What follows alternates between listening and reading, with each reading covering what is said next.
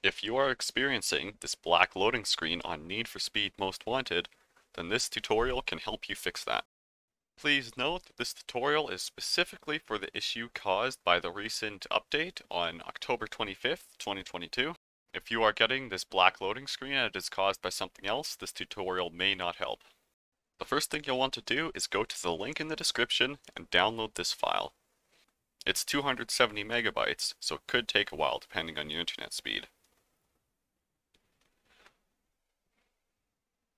While that is downloading, navigate to your Need for Speed Most Wanted folder.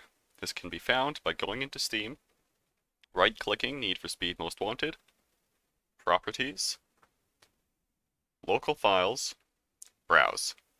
And that will take you to your Need for Speed Most Wanted folder. Now, if you see a folder named en underscore us in here, then you will want to rename or delete that.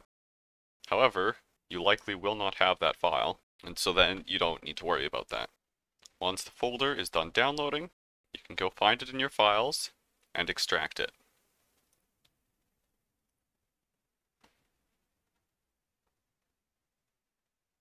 Once that is done, you will click on the new en underscore us folder, right click, copy, and then go back to your Need for Speed Most Wanted folder. You will then paste the folder here, and then you're good to go. If, when you extracted the folder, all you saw was these four folders, then you were put into the folder that you extracted. Just go back to your downloads, and the ENUS folder will be there.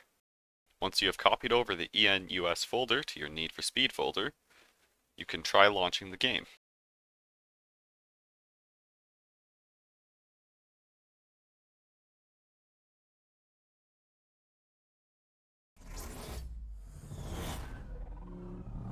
And there you go. Now the game loads properly. Thank you for watching this tutorial, and if you have any questions, please leave them in the comments.